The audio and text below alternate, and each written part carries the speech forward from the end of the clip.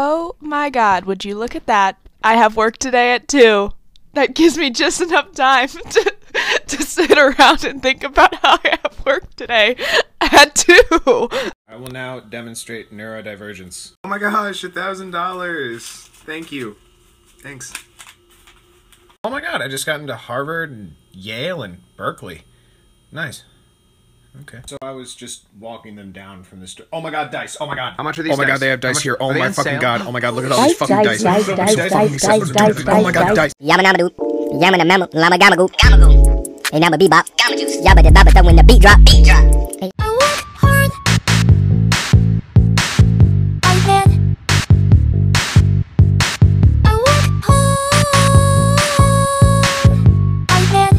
That's my toxic trait. Don't ask me about your boyfriend or your job because you're going to get the same answers both times, no matter what your situation is. Should I break up? Yes. Should I quit? Yes. The government's running out of money. that must suck. I have a proposal.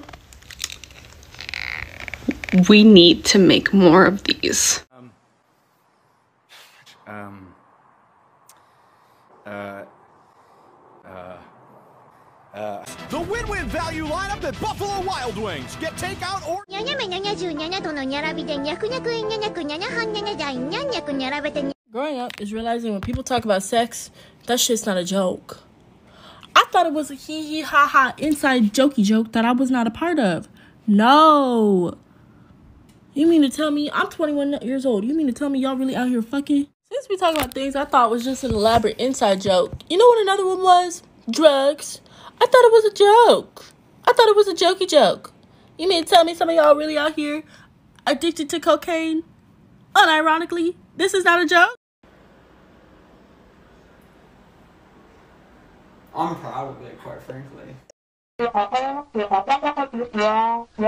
God, please shut up. Please. And what does my little girl want? An absence of mood swings and some stability in my life. Uh, how about a pony? Okay. All right, let me know. When is it happening? Hello? Who's in my house? Is there no way we can get rid of him? Not without cause, Michael. I have cause. It is because I hate him. Just stay alive, that would be enough. Whoa, the bar is so much lower than I ever imagined. Any of you guys struggle with depression like I do, here's a tip that I picked up on over the years on how to get yourself out of a depressive episode and kind of start moving towards a place where you feel a little bit better about your current situation. So what you're want to do is you're going to want to gaslight yourself. Sad? What the fuck do you mean you're sad? You're creating this false narrative about yourself and how you're feeling, and it's really driving me insane. Because yesterday you woke up and you were the happiest you've ever been. I remember you telling me that. I've never told anybody this before, like anybody. In 2014, during a depressive episode, I spent $87 on Candy Crush. Mm. No, because who's the one who should really feel awkward when a straight guy whistles at you on the street and you're dressed like Don't pee on the floor, use the Commodore. Yeah, la la la la la la la la. I legit feel like a worthless sack of shit if I'm not providing, providing, providing, making, making, doing, learning, thinking, healing. Fuck that shit. Fuck it. Fuck it. Fuck it. No, little German boy, don't go into that minimum wage job. Oh no, my spirit has been crushed by capitalism.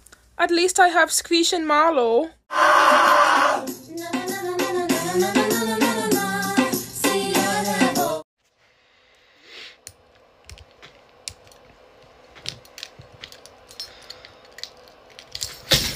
Great. Great. My life is a fucking nightmare every second I'm alive. Just a sad Dr. Pepper floating in the tub. Rub a dub a dub dub Dr. Pepper in my tub. Y'all, I've never been so embarrassed in my life. So I went to the doctor today and she had some questions for me. And I started answering the questions like any normal person. Except I'm not a normal person. I have never seen a doctor look so concerned in her life. So the first question she asked me was how much sleep I get. I said three hours, thinking that's normal. I know it's not normal, but it's my normal. She looked at me with the most concerned look. So she was like, What time do you go to bed? I said, I go to bed like at 4 o'clock, get up around 7. When I tell you she was perplexed, so then she asked about my diet. Lord. She said, Okay, so. she said, You have a good appetite? I said, I mean, I eat every now and then. She said, What do you mean by every now and then? I said, I think I ate yesterday. She stared at me for a solid 10 seconds before going, uh, uh, okay, you remember what you ate? I said pudding. Fun fact number 60. Did you know that I am scared? What time is it, you may ask me? Let me just check my Hannah Montana alarm clock.